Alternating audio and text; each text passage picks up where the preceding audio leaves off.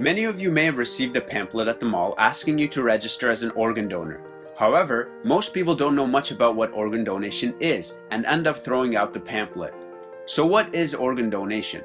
Organ donation involves a transplant, a type of surgery where an organ is removed from the donor and given to the recipient to replace the recipient's damaged organ. The donor often registers for organ donation during their lifetime, and in most cases, once the donor passes away, the organ transplant takes place. Many different types of organs such as the liver, kidney, heart, pancreas, and lung can be transplanted. However, in Ontario, as per data collected, the second highest in demand organ for transplant is the liver. Hence, throughout this video, we will focus on the procedures involved in liver transplants. More specifically, we will be looking at the sign-up procedure, the organ life cycle, the process of finding a match, and life post-transplantation. Let's start with the sign-up procedure.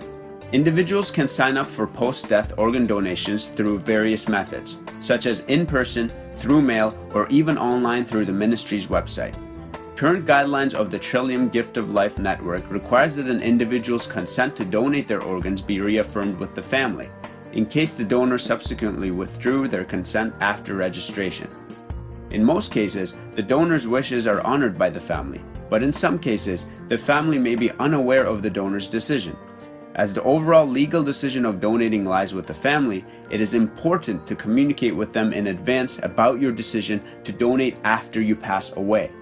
Given the tight time limitations for successful organ transplants, advanced communication with families will avoid unnecessary delays and confusion in an already stressful environment. For more information regarding the enrollment process, check out the beadonor.ca website. Moving on to the organ life cycle. Because organs require a constant supply of oxygenated blood for sustainability, most donations happen following brain death, where the heart is still pumping blood, but the individual has lost all brain function and is put on life support. The current updated national guidelines for declaring someone brain dead is when the lower part of the brain, involved with breathing, wakefulness, and other autonomic functions is permanently non-functional. In recent years, there has also been an increase in organ transplant following cardiac death, where the patient's death is attributed to the loss of heart function. Let's move on to finding a match. We must keep in mind that not every organ donor is a match for a recipient.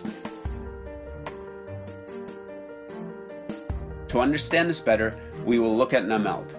NAMELD stands for the Sodium Model for End-Stage Liver Disease, and it's a ranking system to determine which patient may get an available liver.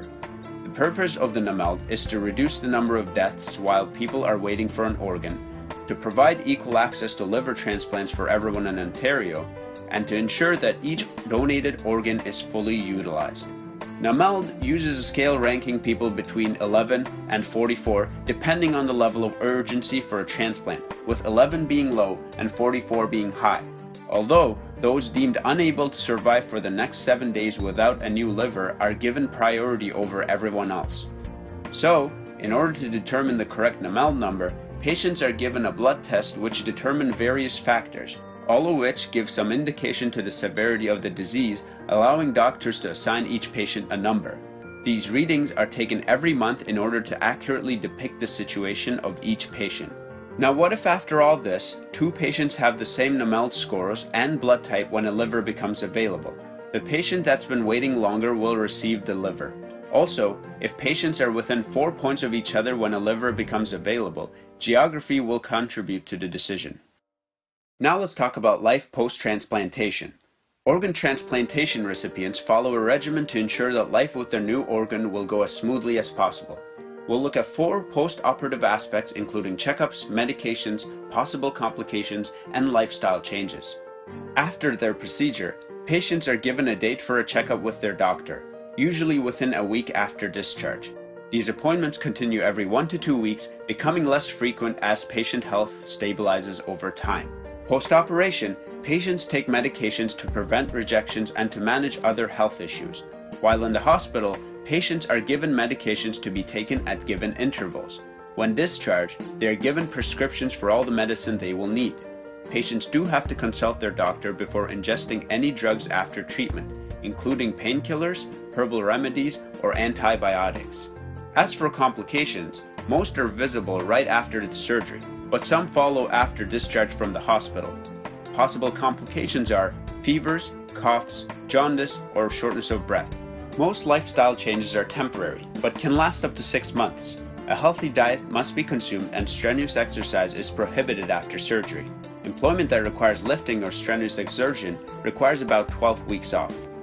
Thank you very much for watching this video, where we took a look at the basics of organ donation, such as the sign-up procedure, the organ life cycle, finding a match, and life post-transplantation, as they all play critical roles in understanding how the process works.